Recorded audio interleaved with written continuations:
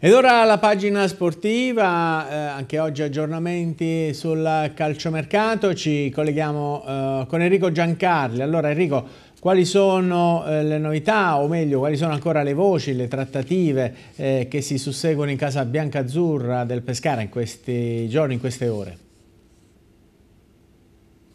Ciao Carmine, buon pomeriggio, naturalmente un saluto a te, un saluto agli amici che ci guardano in diretta G8 notizia che, che, vi possiamo dare è che nel tardo pomeriggio di oggi il presidente del Pescara Daniele Sebastiani parlerà con il direttore del Bologna, due i nomi sul tavolo, quello del difensore Stivanello, operazione sostanzialmente chiusa, vanno definiti alcuni dettagli, soprattutto il nome di Kingsley, la mezzala eh, ex Perugia di proprietà appunto del Bologna che è diventato il primo obiettivo dei biancazzurri.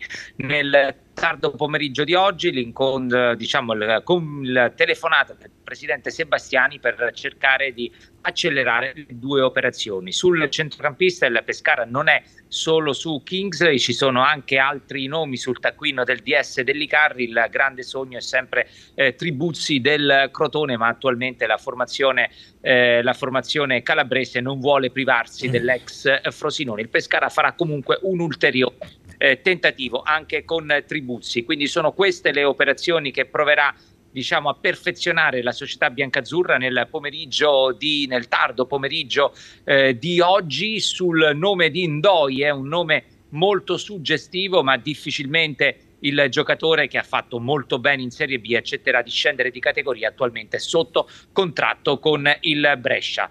A te Carmine.